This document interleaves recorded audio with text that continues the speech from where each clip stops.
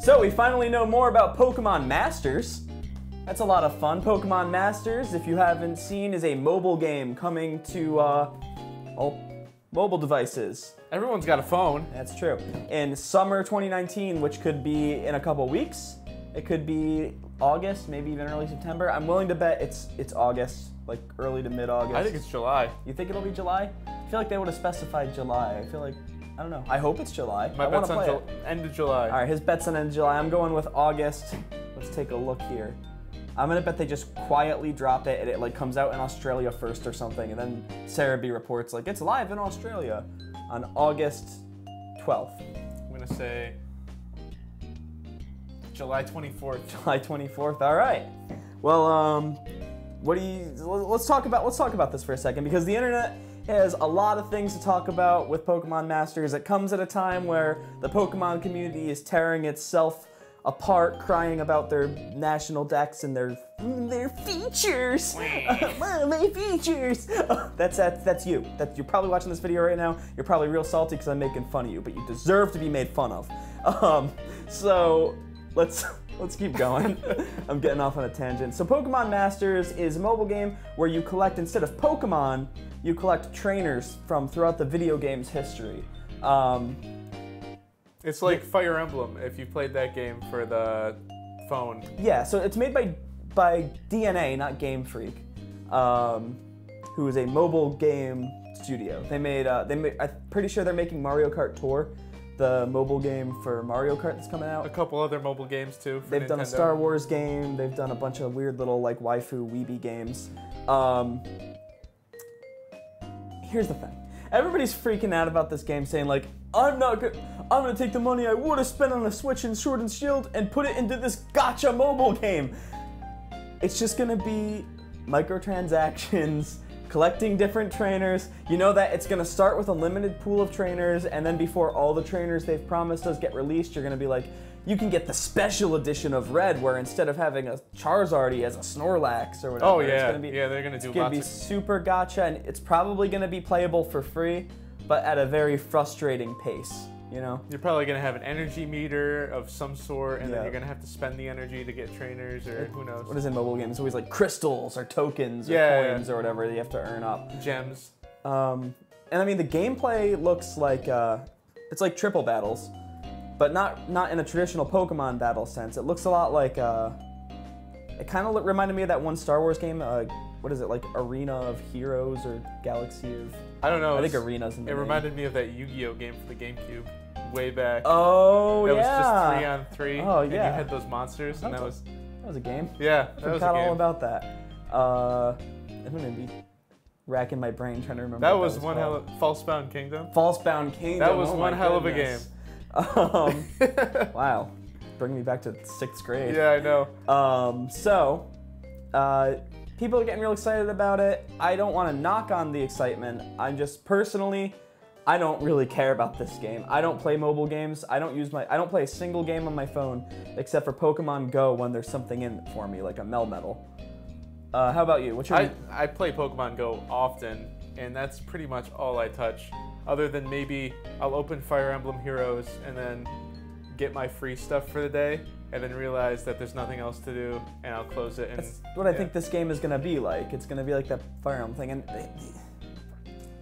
I guess it's just not for me. Maybe we're, I think we might be just above the generation that like mobile games are for. But somebody's gonna play this game. So what you're, what you're saying to me, if I'm interpreting this correctly, is that as an avid Pokemon Go player, you're probably the most into Pokemon Go out of any of the people I know, outside of my internet friends through Pokelore. Yeah. This game, does it appeal to you the way Pokemon Go does? Do you see yourself playing it as much as you play Pokemon Go? I feel like this is a sit-down Pokemon game, whereas Pokemon Go you're gonna play on the go, Mm-hmm. and I'd rather play something else when I'm sitting down. I, I also feel like I'd ra- like the same thing. Like I would rather, if I'm gonna take the time to play a game on my phone, I'd rather get up and walk around and play Pokemon Go Yeah. than do whatever this game is. And the gameplay itself looks like it's just kind of like the battles in the gyms on Pokemon Mhm. Go. Like you tap the screen and then you get a special move, which is they're not calling them Z moves, but they're basically Z moves. Yeah, like everything has a unique Z move. It looks like, hmm and um, for like mobile games for me, I like a nice simple mobile game, and this game looks like it might get complicated. Yeah. And I know the people who made Pokemon Go made that Harry Potter game. That game's too complicated for me. I just want to play Pokemon Oh, Go and throw some balls. rough. I tried. I tried. Couldn't do it. I deleted it. Yeah. Um, so that, that- that's it. Here's the thing. I, I want to make I want to make another point about this game. I think that part of the internet's hype is because everybody's so salty about Sword and Shield. They see this thing and they see like, oh, the Pokemon have like better animations and look how expressive the characters, the trainer characters' faces are. That has nothing to do with like the gameplay of Pokemon. This is still not like at its core like anything we love about Pokemon. It's just so the characters like smile more. There's the one where the Gen 5 trainer girl is like and there's that meme everybody's sharing where they're like, Yeah. they put more emotion into this character's face than anything in Sword and Shield. But like, it's not gonna fill that hole in your lives that you think it's gonna fill, just because It might for some people. it might Who for some people, but for the majority of people that are talking about it, I don't think that's the case. And this goes back to the salt about Sword and Shield. We hardly even saw Sword and Shield. We, we've Yeah. seen like maybe 20 Pokemon max in That's game, in battle. And people complain about maybe a couple things. Another quick thing, I think people are really only excited about Pokemon Masters as much as they are because it had a hype cartoon attached to it. Instead of actually showing you what the game is, because the game I believe has so little substance that they couldn't fill eight minutes with just the game. Because you'd be, you'd be like, oh, this is it. So they made a, a, a cool looking anime, and we're like, look, this is what it's like. But And you know, one thing that the Pokemon company is good at is making cool hype animes. like the Gen two tra- or Gen five Part two trailer. the. Gen 5 Part 2 trailer is is the- one of the greatest anime sequences that they've done for anything. That's up there with like Pokemon Generations and Oh, absolutely. that other promotional anime they did. Yep. Or Origins or whatever it was called. I don't Yeah, the Origins that was on YouTube. Yeah. Yep. So I mean that's that's pretty much it on Pokemon Masters. Um, let's see, we talked about how it's a gacha game, how it's definitely not just gonna fill the hole in the hole in your heart that Sword and Shield's gonna leave if you don't play that game. I think that's all we have to say about yeah, this one. It's just a, looks like it's a nice, simple mobile game. Maybe spend a couple minutes on it per day, depending on what it does. For like a couple weeks till you forget about it and delete it to make room for another cooler, better game on your phone. You know, the only mobile game I ever really played on my phone like a lot was like five years ago. There was right before Force Awakens came out. There was a Star Wars game that was like a tower defense game that I played the crap out of. But Tower defense can be fun. I was- yeah. but I, I played it to the point where like I needed to get a bunch of I basically needed to pay to play it more than every like two days. Uh, And I'm afraid that this is what Pokemon's gonna do. I do have one other thing I wanted to kind of tack onto this video though.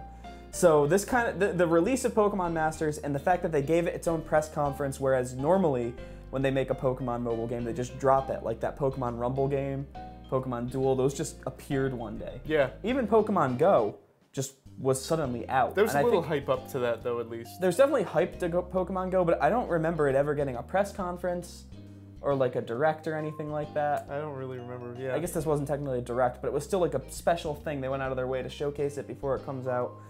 I think this kind of confirms something that I think is really unfortunate but inevitable for gaming in general is that side games are going to just all be mobile games now. I don't think we'll ever see another Pokemon Conquest, another Pokemon uh was it when you became a Pokemon the maze game? oh, dungeon Mystery game? Dungeon. I don't think we'll ever see another mystery dungeon or whatever. And I mean, most of the side games aren't great. I mean, Pokemon Dash was basically just what a mobile oh, game geez, is we don't today. talk about that. That was like, here's some DS features and use them. Yep.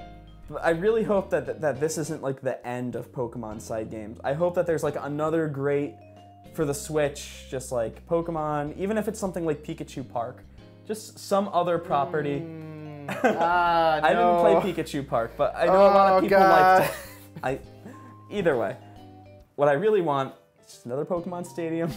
just give me another exclusive battle game. but that's a, that's another us that. video. That's another video. that. Uh, until next time, guys. I've been Nick, I've been Ben. and uh, don't forget we do we do live streaming, viewer battles, giveaways, tournaments, all that stuff on Twitch and this YouTube channel. Uh, if you hit that subscribe button, that would help us out immensely. We're gonna have a lot more discussions like this coming out. We have battle videos, and you'll get the notification when we stream. You can also follow us on Instagram and Twitter at PokeLore underscore TV. That'll also be linked in this video.